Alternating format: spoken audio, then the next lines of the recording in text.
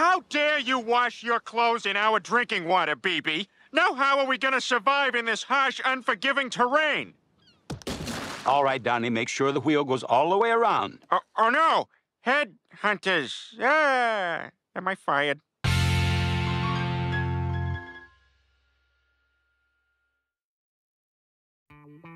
In April of 2023, the entirety of the first season of the Total Drama reboot leaked online, thanks to the whole thing dropping in Italy on Discovery Plus. Oh, Given the show's history with leaks, this wasn't exactly the most shocking news. Total Drama fans are ravenous beasts that look for every possible smidgen of information and footage they can find in order to satiate their never ending appetite. I would know. I am one. Overall, I'd say the season was a positive surprise in terms of quality. Not the best that the show's produced, but easily better than what they had put out in the years prior to the show's slumber. Still though, to have a whole season leak, and with no word of a release date for US folks, as well as literally everyone else in the world, it wasn't exactly a good sign, especially in this mass streaming world that we live in, where executives are just an inch away from the tax write-off button they have installed on their desk if a show isn't an instant success. But I mean, maybe we were looking too deep into this. I mean, what? Are they just gonna leak the entirety of the second season too before even announcing a release date for the first season in the US and worldwide? yeah, right, that'll be the day. Z. As in, as in multiple days. Since it leaked over a few weeks. You know, for a company called Discovery, you'd think they'd discover how inept they are at this. So from November 2023 to January 2024, the second season of the Total Drama reboot was released via leaks. Trust me, we're gonna talk about the drip feed leak later on, but for now, let's look at the actual content of the Total Drama Reboot's second season. For those of you not in the know, last April, I looked at the first season of the reboot with my friend, The Wacky Deli, over on his channel. We gave our thoughts on the changes, the new characters, the idea of a new season in today's climate, and the messy leak and distribution issues, as well as other things. I highly recommend that you check out that video before continuing with this one, link will be in the description below.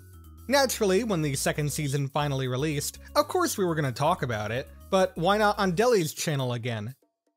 Well, to coincide with the messiness of how these two seasons have both officially and unofficially been released, we thought it would be a good homage to have the two parts split up between our channels. Discovery, if you're watching this, hire us. We can play your game of making bad decisions too. This video will cover spoilers for both the first and second season of the reboot, so do keep that in mind.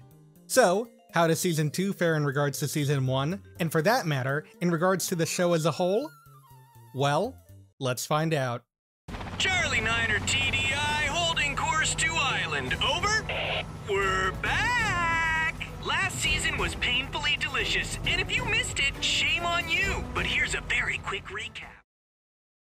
So the big thing going into this season of Total Drama is that it's the first full-on legitimate sequel season. See, previous seasons of Total Drama are technically sequel seasons to the season prior, especially true for the first three seasons.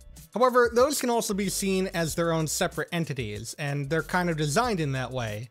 Sure, the characters are the same between the seasons, and there are some plot points that do carry over in between seasons as well, but for the most part, you could watch almost any season of the show on its own, and while you may get lost or confused at some points, each season is also meticulously crafted so that, while a watch of previous seasons is beneficial to your watch experience, it isn't necessarily required for you to find enjoyment. Each season of the show, in the original run, for better or worse, has carved itself a unique identity, ergo why every season of the show has its own sort of name. Total Drama Action is technically Total Drama Island Season 2, but ask any fan for what they're worth, and they'll tell you that it's Total Drama Action. It is also Total Drama Island Season 2, but in convention and technicality alone. The new run is also able to carve its own identity, and has its own, albeit unofficial, naming convention of Total Drama 2023, or some spin on that. And while not exactly a perfect definition of what to expect, it is, basically, just Total Drama Island in the modern age, which I know sounds ironic given the fact that every year the show came out, it was the modern age, but in the social media driven world of today, this applies now more than ever. That being said, the naming convention works for the first season of the new run. For all intents and purposes, Season 1 of the new run is Total Drama 2023. Season 2, in that regard, is already coming out of the gate with a massive handicap.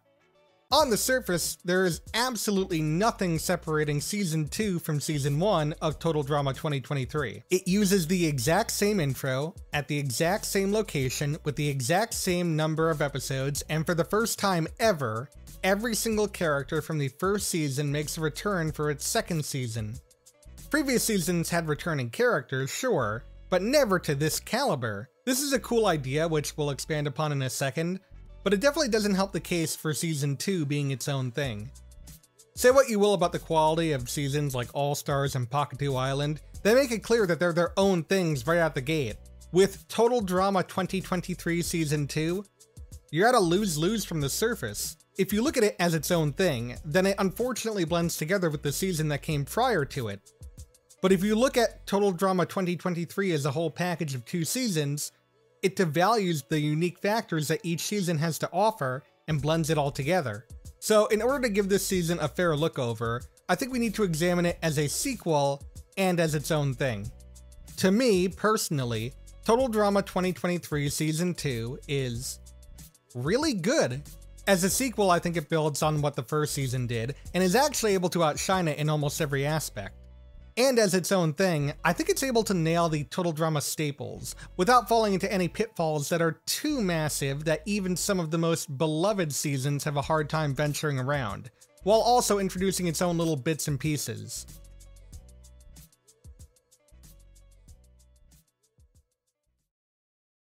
All 16 contestants are back to do it all over again. Which means this season, I don't even have to pretend As I mentioned, every character from the first season returns this season, and it feels the most like a direct follow-up than any other season prior. Things that these characters said and did in that first 13 episode run feel like they continue to hold weight and leverage this time around. Not to say any of the original seasons weren't able to accomplish that, because they were, but here, it feels the most natural, at least to me. Given the unique circumstances of this season's cast, Delhi and I will be covering the characters just like we did in the first video, which, uh, which again, you should have watched first, not gonna lie. And going over how they build upon what was established in the first season, as well as anything new and interesting they bring to the table. We will be shaking things up a bit in this part of the analysis, however, and you'll see what I mean soon enough. Oh shit, who invited these guys? Loser! You're a loser! Are you feeling sorry for yourself? I mean, right now is technically soon enough. So for the sake of not slogging the video down, we've decided to cover all the pre-merge eliminated contestants at once. The reason behind this is because, well, to be perfectly honest, there's nothing that substantial to really add to their characters that we didn't already make abundantly clear in that first video. So, first up we have Lauren, aka Scary Girl. Last season, she didn't really stick around for too long, but for what we got, she turned out to be a competent and entertaining contestant.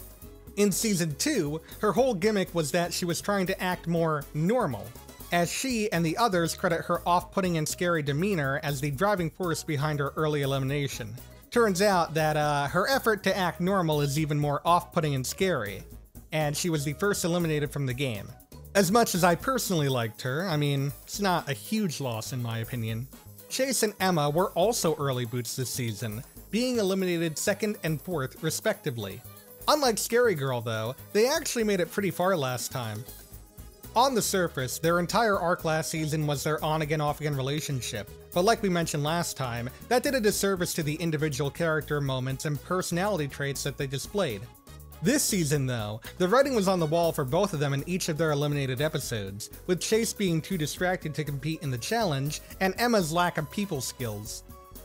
They end up not being together at the end, and I think that's probably for the best. If the show gets another season, the writers are going to find some way to have them go around again, mark my word. Millie made it to the final three last season, so I guess it only makes sense that she's the third eliminated from this season. I mentioned last time that I had a problem with how her character was handled, basically cruising to the finale on Priya's back while not really contributing that much. Looking back, given her reason for being there in the first place, it kinda makes sense that there's a bit of a manipulative strategy to her game, although I'm kinda surprised no one called her out on it. I am glad, however, that in this season, despite making up with Priya, they didn't completely drop her more manipulative tendencies, with her abusing Damien's trust to get their team to win the second challenge. Except this time it actually blows up in her face, and she's voted off in the very next episode. Like Lauren, I didn't really feel like there was anything more to add with her character either at this point, so again, not a huge loss. And our last pre-merge contestant, Nichelle. Okay, so I'm going to be walking on a bit of a tightrope on this one, since Nichelle here has become quite the popular character in the online community, and with her not making it far either last season, the fans have deemed her elimination as, quote, robbed both times. How do I feel? Ooh. So in the first season, it's revealed that action star Nichelle actually never performed an action scene in her life, and it was all stunt doubles and makeup, leading to her team's loss and her elimination in the third episode. Definitely a bit of missed potential, but I wouldn't say robbed given the circumstances. In season 2, thanks to her blunderous performance, she's a hashtag cancelled Hollywood actor, and nobody respects her until she reveals in the very first episode that ever since her season 1 loss, she's actually been doing a lot of behind the scenes training, and now she's just as talented and athletic as she had portrayed herself in her movies. After all the ridicule and backlash she received, she's finally ready to prove everyone wrong and go for the gold. She's then promptly out of the game four episodes later. Now, she wasn't actually eliminated this time, instead opting to quit the game after finding a contract for a movie franchise deal. One that was forged by Julia as revenge for a beef between the two earlier on in the episode. We'll get more on that later, but between her two departures, this one definitely feels more deserving of the robbed status that the fans clamor for. Now, do I think she was robbed this season? Well, I don't know. See, I think she had a lot more potential this season than she did the other season, given the strengths she had on display, and her getting out because of Julia could arguably be seen as a cop-out move to get her out early. That being said, between the reveal of her talent and her departure, there was literally nothing done with Nichelle at all. The fans were literally clamoring for any bits of character with her, to the point where I, no joke, saw a tweet or Reddit post of someone compiling the shots that Nichelle and Damien were in the same frame, and they were like, don't think I didn't notice all these shots, hard eyes emoji. They make a cute couple, huh? They certainly are standing next to each other. She stayed as long as she needed to, given how she was written. So in truth, if anything was robbed, it was the writer's ideas for Nichelle from the studio. Anyways, that's all the losers. So while we're pointing and laughing at them, now we can get to the characters that actually mattered this season, starting with...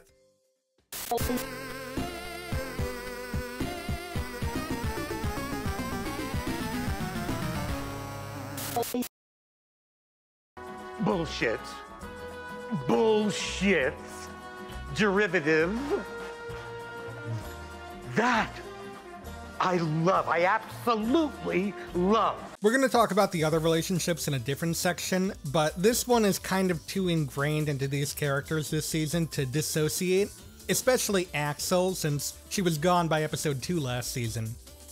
So first off, with Ripper, he made quite a name for himself in season 1, both in the show and the fandom. Not gonna repeat myself completely from that first video, basically he was a character who was a jerk who used other people to further himself in the game, and had an obsessive relationship with farting. But behind all that was a competent and determined player who made it farther than he probably should have. In Season 2, right away, the personality that he built for himself bites him in the ass, as even with characters as disliked as Julia and Bowie amongst the cast, he's still the last one picked to join a team, it's clear how basically everyone feels about him, and that no one willingly wants to spend time with him. Nothing much is really done with him in the first episode, but from episode 2 to episode 4, they take Ripper's character traits and go a completely different direction than what I was expecting. First and foremost, his farting and farting discussions have been reduced significantly in season 2. Needless to say, I was flabbergasted. Can the character of Ripper truly even exist if he does not flatulate? He's still an in your face guy who does his own thing for his own benefit, all to the disgust of everyone else. But he actually has a bit of a story this time around. See, he fancies someone on the island, and tries in vain to impress her at every turn. And that lady is none other than. Axel? It's the girl who ripped my heart out. The girl whose face will always be etched in my mind. Huh? We'll get more into this in a bit, but in having the character so focused on this escapade, they've drastically blunted the harshness of his character. Personally, I think it was a necessary change. I never hated Ripper in Season 1, I actually think he was quite adept at times, but there were a few moments where I felt they crossed the line a bit much with how much of an asshole he was. Anyways, he tries and fails on a few occasions to win Axel's heart over, until the end of episode 4, we're after reading an honestly banger poem for Axel over the loudspeaker. Well, I'll let it play out for itself. This is gonna be bad. Yeah, can we show a decapitation, or is that gonna be a problem?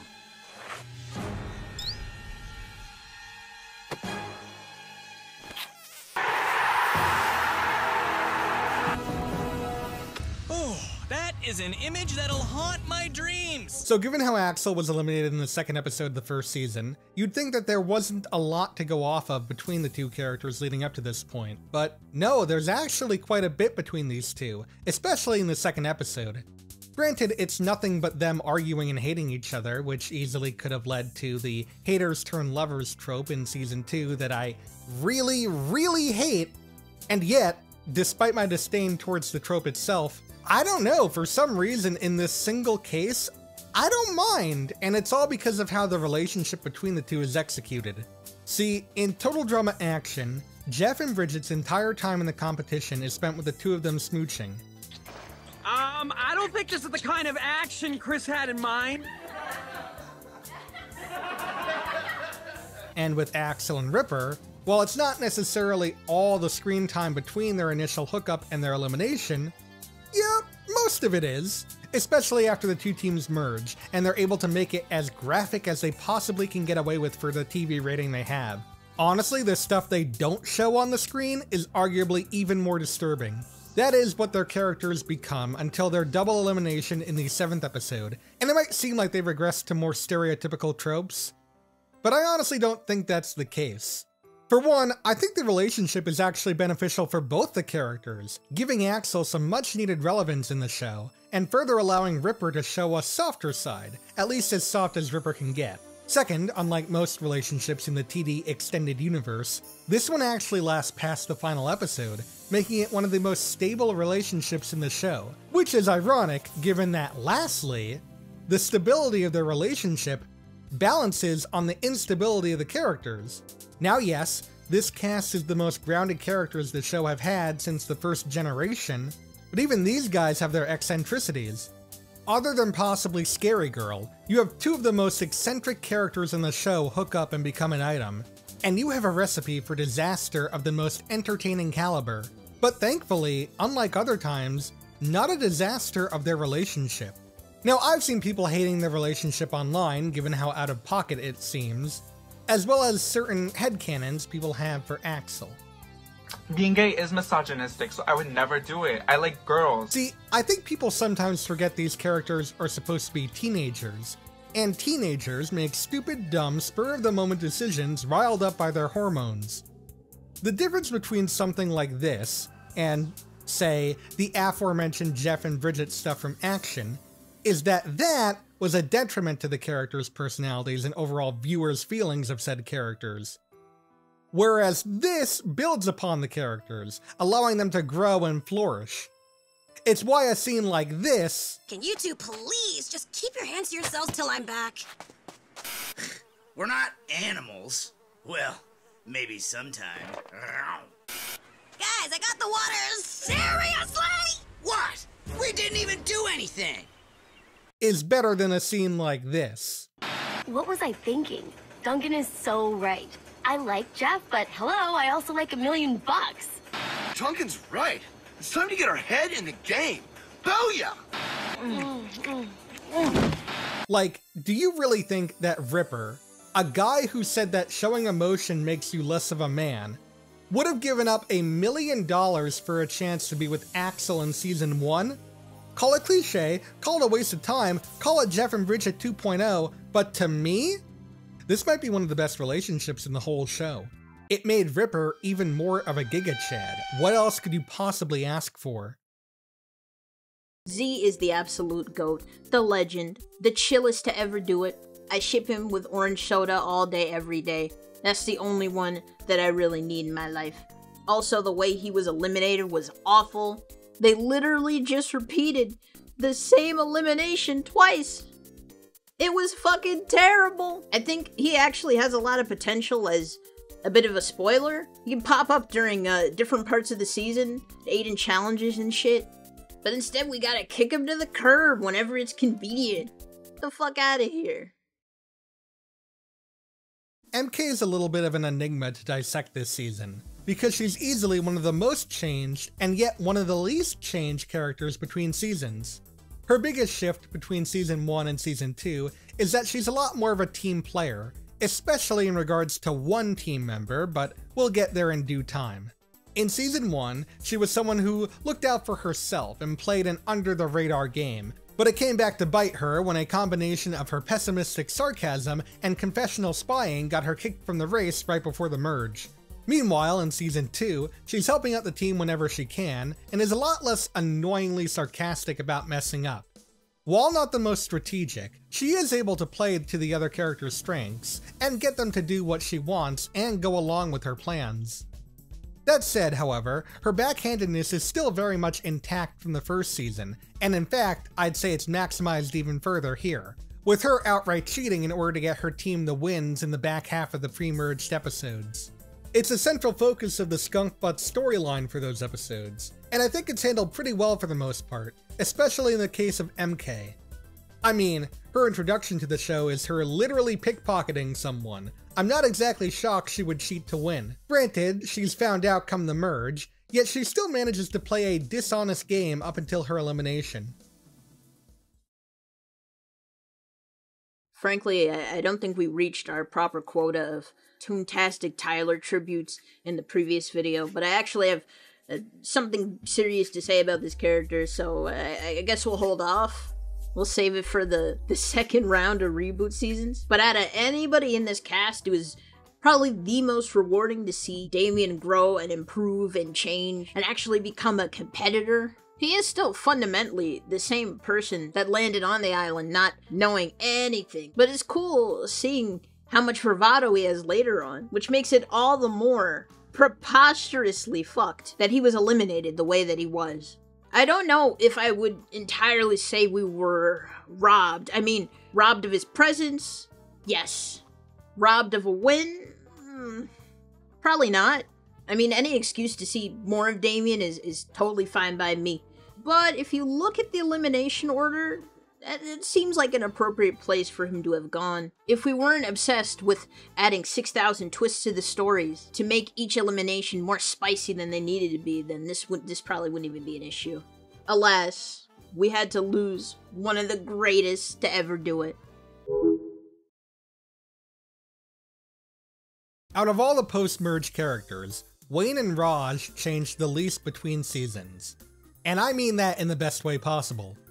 They were peak in season 1, and they continue to be peak in season 2.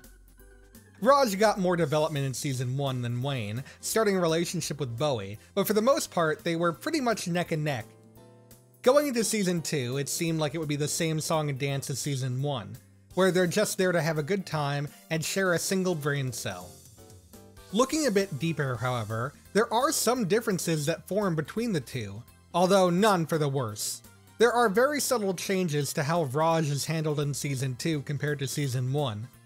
Although they may seem to share an IQ level, it seems as though Raj is the brighter of the two, able to pick up on things quicker than Wayne. I think this is wrong! Quick, tell me what's happening. Our team is cheating again. very, very wrong! And in the beginning of season 1, Raj is definitely more of the emotional anchor in the relationship between him and Bowie, something that we'll be discussing very soon. As I said, none of this is to the detriment of either Raj or Wayne's characters. Under the guise of, quote, shaking things up, they could have easily introduced a slew of different things to force drama. But they didn't. They grazed upon a few ideas in sub-episodes, but for his time on the show, they kept Raj as a loyal best friend to Wayne, and a loving boyfriend to Bowie, and exited the show as gracefully as a snow owl. Priya managed to remain pretty likable throughout both parts. It's kind of cool she managed to have two full narrative arcs. The first one, of course, being her her path to victory tied in with her friendship with Millie, and this one, of course, being tied into another competitor we'll get into a little bit later. I do find this to be a bit of a mild complaint, but they definitely had more room to explore her relationship to Total Drama as a franchise in conjunction with her fucked up childhood. I would have liked to have seen someone take accountability because, I mean, all, all of this, this, I, yeah, something needed to be said here. Julia is in a bit of an interesting position this time around. See, for basically the first half of the first season, she had to keep up this nice girl facade, until that all came crashing down right before the merge, where her true colors shone, and she was allowed to be her real conniving self. Going to this season, everything is basically painted on the wall already, so there's nothing that she could really hide. And yet, she still somehow managed to make it to the final three, despite her reputation. And that's weird to think about, because aside from one other thing that we'll talk about later, Julia basically played the same game that she played last time. I think her smaller strategy plays were better this season, like getting Nichelle to quit the game and getting the one up on Damien's idol, which, by the way, I saw some people saying it was worse than Heather's idol play in All Stars, which I heavily disagree with, due to there being actual reasoning and strategy behind Damien needing to constantly hide the idol, but uh, we'll let that be for now. But with all that said, and my general opinion that her placement in the final three was more than deserved, I do wish that her moves weren't portrayed in such a tell don't show manner, where we're only told about things after the fact. It helps with tension, but doesn't really do much to make her seem like a strategic player. Between both parts of the season, Julia was easily given the most time to experience a full evolution. As an antagonist, she's decent enough given the makeup of the cast, but she also managed to captivate half the fandom without even trying. I mean, like literally without even trying. She is operating at a Jerry Manthey while all of her stands hype her up as the Russell Hantz. And I will, I, I don't think I'll understand it. You got previous seasons that feature actual icons. Decent strategy be damned. I remember the ice skaters being well liked, but I don't, I don't think they were getting this much shine. Come on. What, what, what is this? Caleb is the most total drama of all time literally being the first casualty of 2023's first season. His run in the second is much more thoughtful and deliberate. He exists in a very particular vacuum where he's not distinct enough to be considered a real character, nor is he close enough to past archetypes that he could be considered too derivative. His non existent personality listlessly floats within the realm of total drama purgatory without much of a fuss. Otherwise, he's a decent enough general competitor. I remember when the first scene of the second season leaked, and people online were pointing out how Caleb had this cool strategic face on, and how he seemed to be a lot more no nonsense. The speculation behind those scenes being a possible implication that he would act as this season's antagonistic force, possibly bitter due to his early departure in season 1. In actuality, what we got was almost the complete opposite a guy who likes to do good unto others and takes his grandma's words about being an honest man at heart. Kinda would have preferred if he did play more of an antagonistic role, but whatever. Wayne is the unabashed goat of this season, and I'm tired of people pretending otherwise. Wayne has got to be in the top five of total drama goats. Anybody who disagrees is a poop mouth with poop opinions, and they are not to be respected in this video. But seriously, it was cool to see him win. He's a good guy. He deserved it after everything he's endured. And I mean, the money's not being put to good use, but like, it, it doesn't most of the time anyway. Who gives a shit? He is a titan among men, an icon amidst icebergs, the Gretzky of total drama do goodery. And by Gretzky, I mean, of course, Owen, because those two figures are clearly on par with each other. I mean, come on. There's honestly not a lot to say about Wayne this season as compared to last season, nothing much changes. And I think that's part of why Wayne's win is so important, because you don't need to go through some character defining arc or be the most strategic player to win. Sometimes you could just be a lovable goofball, and that's good enough. Almost like people forgot how season 1 played out. Hmm, that's that's really weird. The reason why seeing him win was so cool, it mainly has to do with this mirroring the ethos of how the end of the first season was held. As polarizing as he could be, Owen was very much the face of the show for being representative of the series' crude humor and surprising sense of heart. He doesn't grow or change over the course of the season, and frankly, he didn't need to.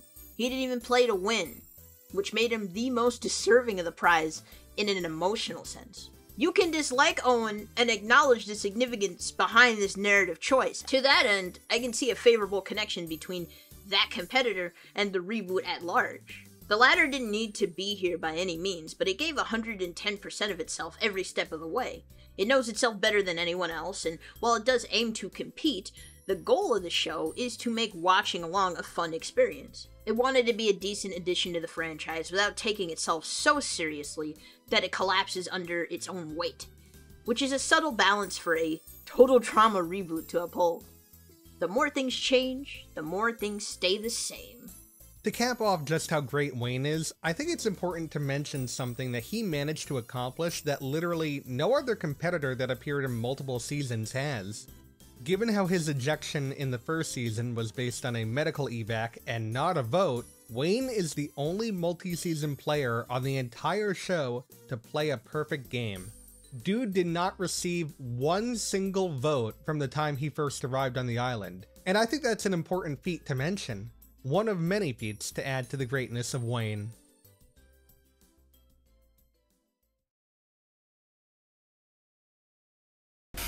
Caleb and I would make a great couple.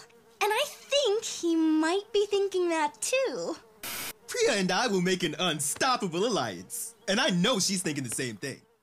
Alongside the individual characters, there's also the relationships and bonds that are present and formed within the season. And other than Axel and Ripper's whatever was going on over there. There were two big relationships that formed this season, as well as a bit of a deeper look into two more relationships that were previously established. Functionally speaking, Caleb does not become a character without being attached to this arc with Priya. It's pretty one note, and there's no shortage of people who won't let you forget it. But for what it is, I think it's charming enough. Granted, I don't think my expectations were set too high, and thankfully there was no real attempt at a surprise twist made to keep things interesting. Putting these two together doesn't result in sparks flying, but what we got was relatively earnest. It is the most basic bitch ship development possible, and given the others that they've set up, I can't be mad that this one was coasting on lukewarm vibes. I, I really can't. People seem to be, uh, a touch critical of it, and admittedly, there are way more interesting dynamics that could be explored. So instead, let's just pivot to the real MVPs of the season.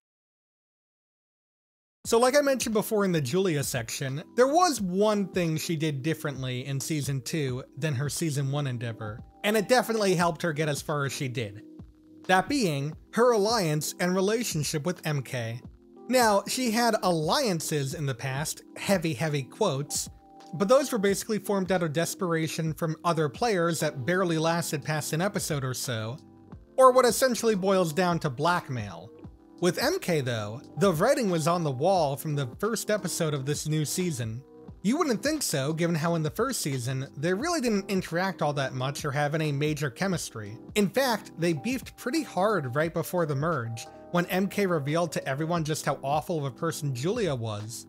But no, right from the very beginning of the new season, the two of them seem to be hitting it off pretty well. Julia and MK bring out the worst in each other, and I mean that in the best way possible. What were once just a faux positive influencer whose downfall caused her strategic uprise, and a snarky, sarcastic loner who played a subtle game from the shadows with an equally shady moral compass, transformed into one of the best and most strategic alliances and friendships on the entire show. The two of them were basically the driving force behind the cheating storyline for their team, and honestly, given the fact that the team didn't win any challenges until they did start cheating, it gives some weight to their strategic gameplay this time around. If it was only the cheating, then there wouldn't be much to write home about. But they were doing this alongside going out of their way to sabotage the other team and basically keeping their number one enemy on their team, that being Bowie, in their back pocket, with the allure of allowing them all to stay just one more day on the island. It was a great move on their part, given that Julia's inclusion on the team could be seen as nothing more than an early boot.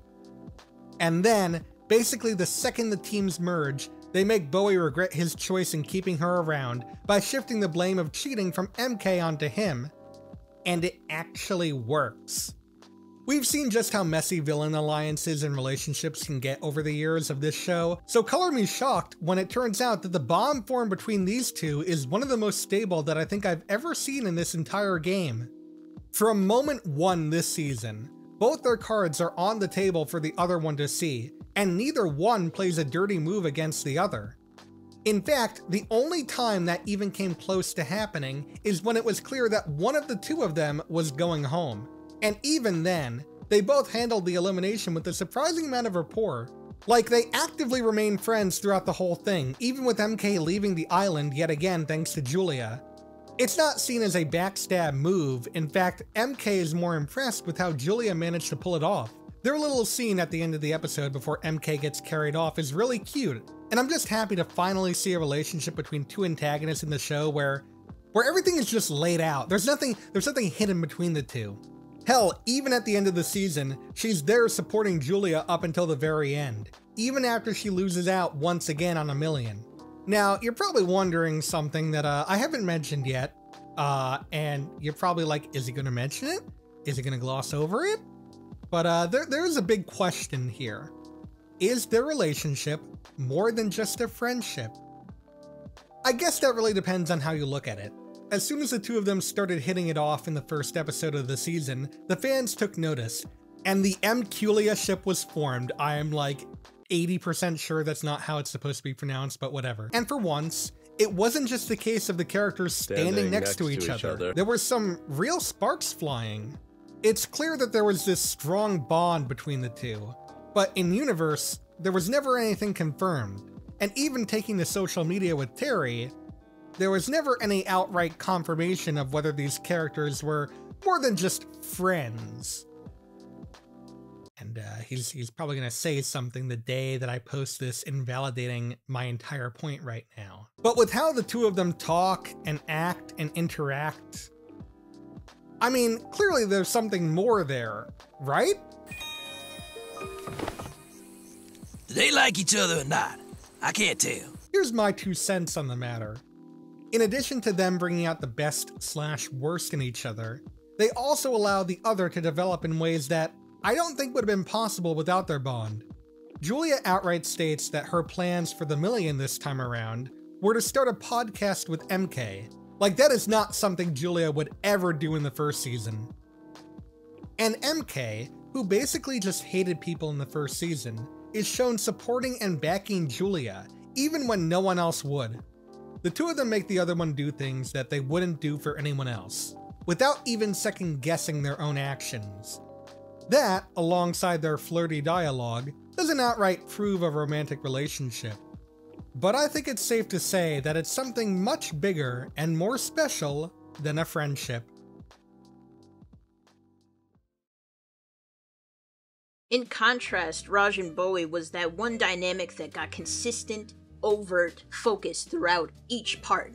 In the barest sense, you could argue that part 1 succinctly wrapped up their story as a duo in a narrative sense, meaning whatever was to be done with them here it would very much take on like side quest type energy. You know what I'm saying? The next logical step to take in developing this relationship would be to explore how each of them compete alongside each other. Broadly speaking, both of them are pretty decent competitors, but they have two quite distinct play styles and philosophies. Part 1, in the context of this ship, was mainly framed around Raj's perspective, in the sense that he had a lot of uncertainty, some mixed feelings to unpack, and this more trepidatious side of him paired off well with this bold, golden retriever type energy we get from him. Unfortunately, this didn't really leak into their gameplay because Bowie was able to very directly pivot away from that whole question by saying, hey,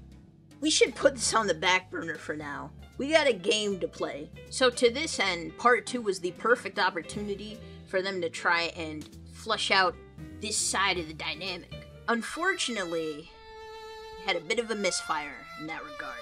I do kind of understand what direction they were going in, but this wasn't really an opportunity for the two of them to actually develop as people.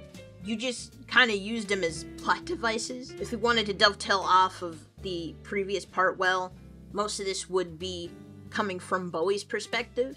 And despite the fact that he is literally sandwiched in between Julia and all of her crazy schemes and the hockey boy's ethics, I don't really feel like I know what's going on in his head half the time.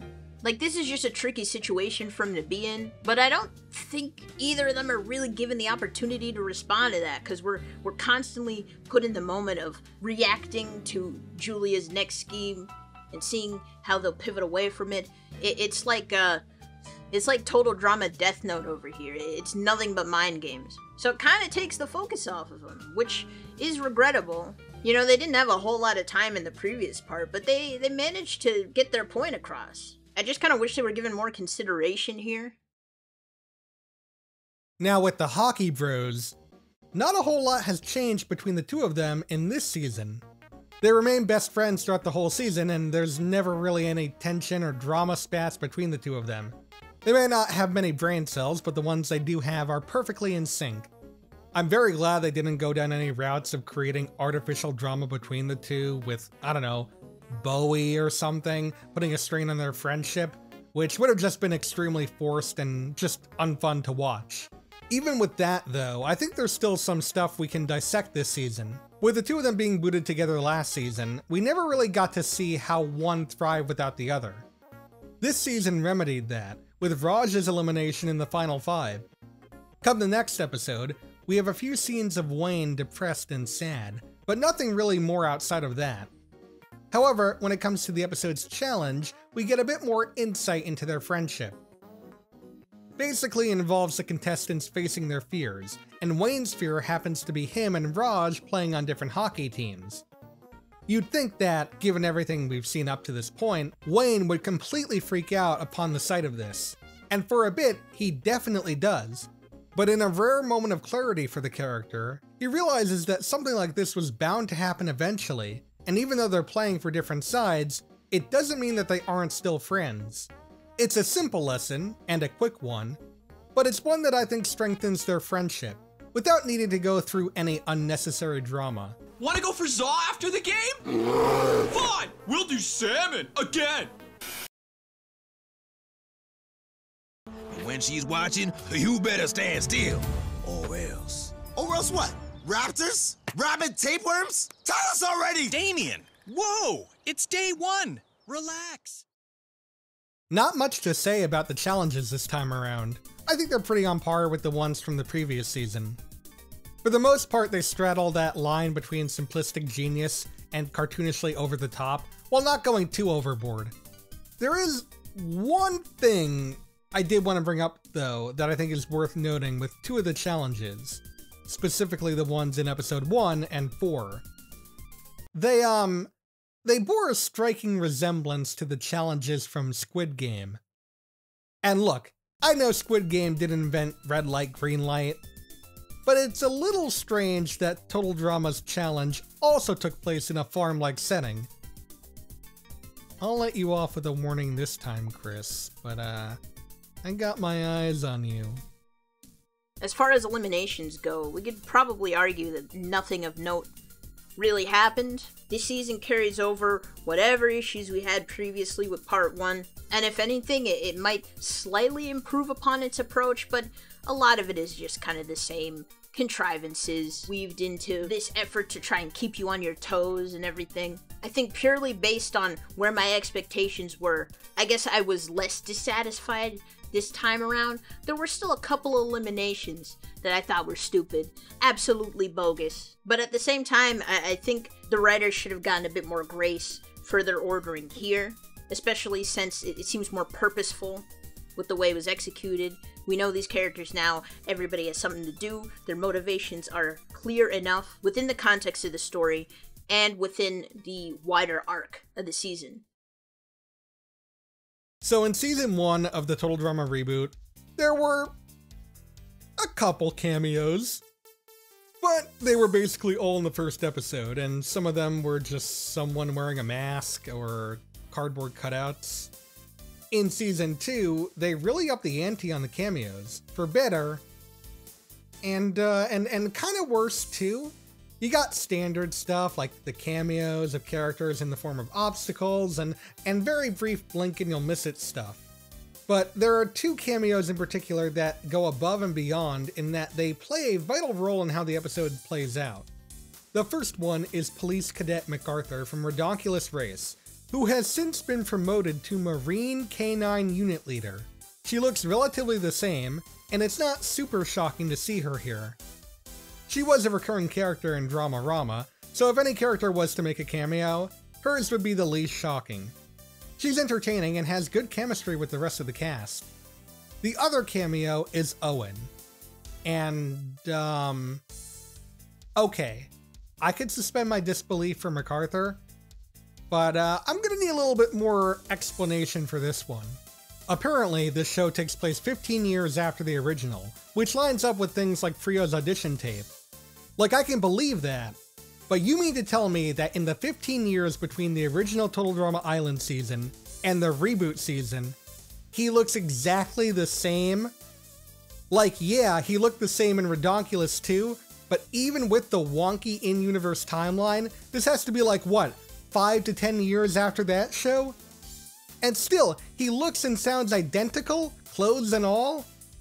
I mean, I get why. They probably had the old model and didn't want to make any big changes, but honestly, it took me out of it right away.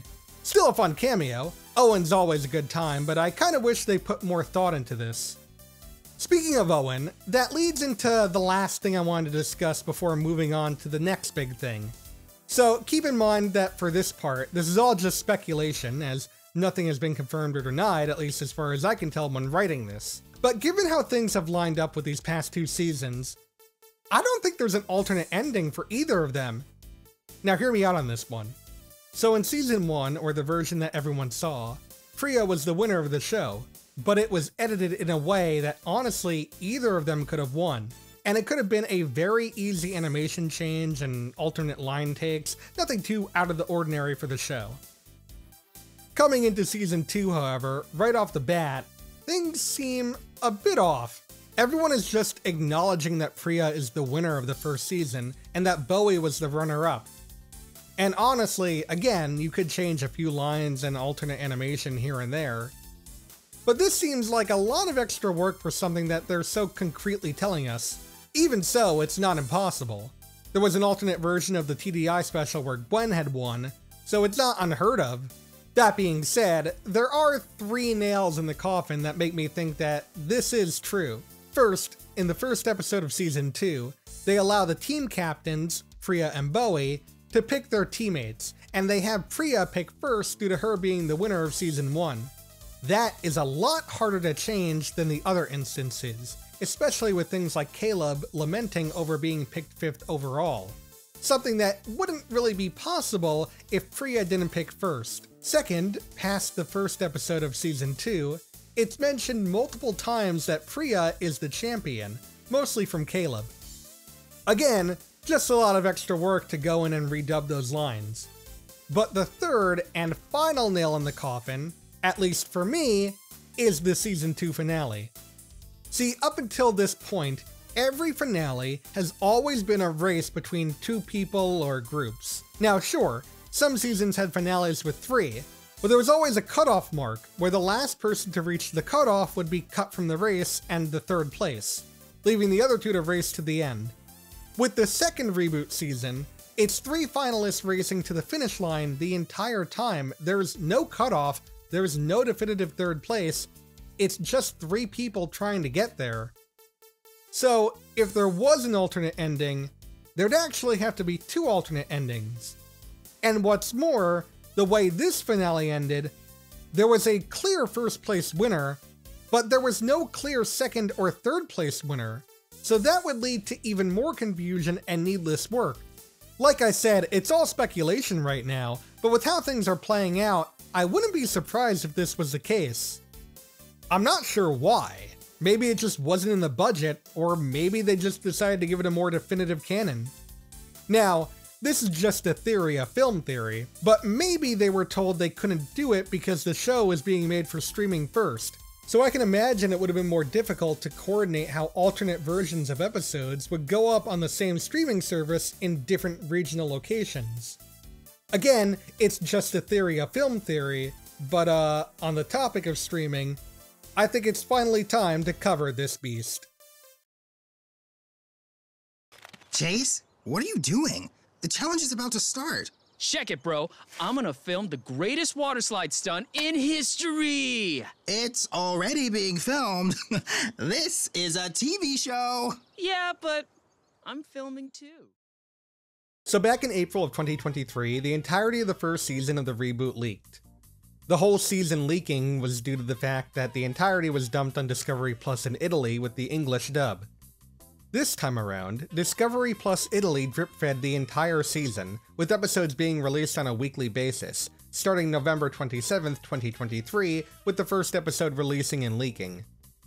The following week, another three episodes dropped on December 4th. After this, episodes were released on a semi frequent schedule, with two episodes dropping the following week on the 11th, and two episodes dropping on the 18th. After that, however, it was all quiet on the Western Front. Nothing more was dropping on Discovery Plus Italy, and there were no signs of anything dropping soon. It wasn't until January 13th, 2024, almost a month later, that the remaining five episodes were finally released. On the BBC iPlayer in the UK. To say this was a messy release would be an understatement. I mean, what the hell was going on here? It's one thing to want to release the episodes weekly instead of batch dropping. I get it. I prefer that way too since it builds up hype. But whoever was in charge of this release window dropped the ball. Hard. I remember waking up to the news that part 1 had dropped. It almost didn't feel real considering what information we already had. It was kinda cool to be able to watch it all in one day, albeit partially out of obligation, but it certainly wasn't fair to most people. It did generate short term buzz, and I figured, hey, as long as we're all aware, for next time, maybe this will be a net benefit. But then when that second half started to drop, there wasn't any regard given for consistency. Two episodes here, five episodes there, no sense of timing to be found. This was presumably done to overcorrect from part 1, but we could definitely argue that this made it even harder to keep up with each drop. The new episodes still had to be sourced from Italian Discovery Plus each time more was released. They had to be retrieved with the original English audio attached, downloaded, re upped where people could find it, and all of that adds extra waiting time onto each drop's release schedule. It puts the burn in slow burn. Total Drama is no stranger when it comes to fucked up worldwide release schedules. There's no shortage of instances where episodes and winners have leaked due to other countries having the show aired for them first. This time, however, this feels different, and in the worst way possible.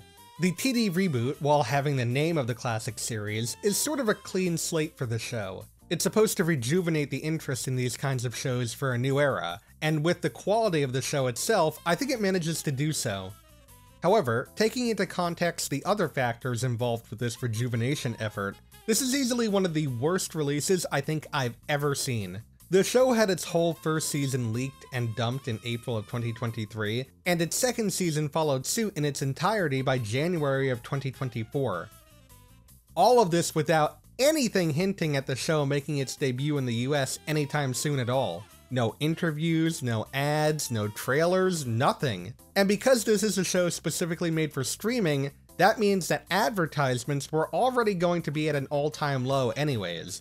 So that doesn't bode well for it releasing anytime soon. How does something like this even happen? Who's at fault here? It's easy to just point fingers at Zaslav and Warner Bros. Discovery like always, and I wish it could be that simple again. But I don't know, something about this seems extremely more complicated and messy. Which will probably mean the reasoning behind this distribution debacle will be all the more erroneous. I can easily see additional info coming to light a couple years down the line. American entertainment is in such a weirdly turbulent place that nothing quite makes sense anymore. Things are so bad, they started bringing back the fucking Disney Toon sequels and putting them in theaters as if that made any sense. Any explanation of what might have happened wouldn't make up for them fumbling as bad as they did, but it might provide someone with a sense of closure. My personal crack theory is that they maybe not so accidentally ended up focus testing too close to the sun, and they just happened to waste a full 26 episodes of reboot without considering what franchise they were dealing with here. As of the time of recording, the Total Drama reboot has only been officially screened in a handful of countries, fully dubbed in their respective languages. With the exception of the United States, both halves have been made available throughout the Americas on streaming and terrestrial television. Meanwhile, the UK and Australia carry it outside of that region, undubbed, of course. The only other country that lies outside of those regions would be Italy, a dominant market for the franchise. In the grand scheme of things, this country's impact on the show wouldn't be particularly noteworthy. Historically, they all hold significant populations of people that followed the show. I would say also that Italy has a unique relationship to animation, but that's that's certainly not exclusive to them. As far as I can tell, regular TV still holds a fair amount of prominence overseas, to the point where a lot of media known to us as cable originals are aired on free TV over there. This reboot had access both to an audience on streaming and public television. And assuming you deployed a batch of episodes properly, you could, in theory, try and gauge how to handle similar rollouts internationally. Now, this is all well and good, except for the part where they dumped 100% of the content they'd be testing for and didn't say a word. This is a series that was the serialized cartoon of the day, a decade before Owl House, Amphibia, a couple years before Gravity Falls, even. You had to stay up to date each week while it was running in order to not get spoiled. If you drop too much of it at once, there's less incentive for people to actually keep up with it, and the hype goes right along with it. As unbalanced as Cartoon Network's previous releases were internationally, I don't think they ever crossed over into this weird territory where we can suddenly drop half a show in one day and piecemeal the rest of it over the course of mere weeks. A veritable smorgasbord of a shit show that we have on our hands here. Look at it. It's it's all shit. With season 2 coming to an end, that's all she wrote for the time being. As of writing this, there's no more confirmed seasons of the show being produced, as the show hasn't been greenlit for a season 3. So the big question is, what does the future look like for Total Drama? Now on the bright side, Terry said that the numbers were really looking good for season 1 and 2 of the show, so that should help in the show's favor. But like, which numbers are these referring to specifically? And honestly, the bigger problem with the leak, this time in particular, comes with the fact that this show is supposed to be a quote, Max original. Unfortunately, with entertainment nowadays, especially shows made for streaming, corporations and executives expect instant success, and anything they see that does not meet their extremely high bar, they have no problem canceling on a whim. We've just got to accept the fact that Fox has to make room for terrific shows like Dark Angel, Titus, Undeclared, Action, That 80 Show, Wonderfalls, Fast Lane. It's an unfair measurement and an unrealistic Skin, expectation, Girls Club, but it's unfortunately the world we live in now. And since these two seasons have both leaked and aired fully before any news of a US release, I'm not sure if the max numbers are going to hit that bar.